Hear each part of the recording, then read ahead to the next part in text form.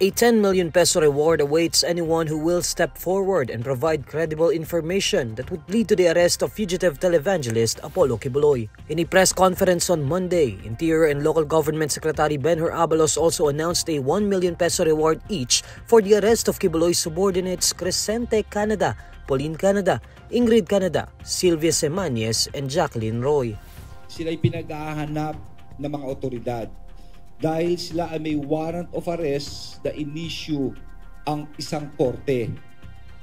Ang kaso nila sa ating mga kababayan ay child abuse, child, bata, and exploitation, child abuse and exploitation at qualified trafficking.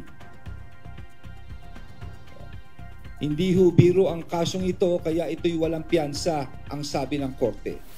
On April 3, a Davao Regional Trial Court issued arrest orders against Quiboloy and his five subordinates for violating Republic Act 7610 or the Anti-Child Abuse Law, specifically the provision on sexual abuse of minors and maltreatment.